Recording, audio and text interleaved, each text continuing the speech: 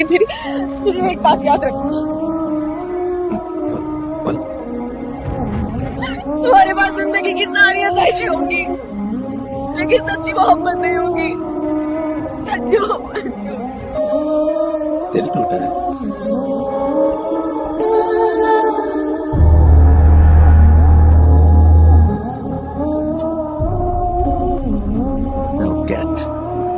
Lost.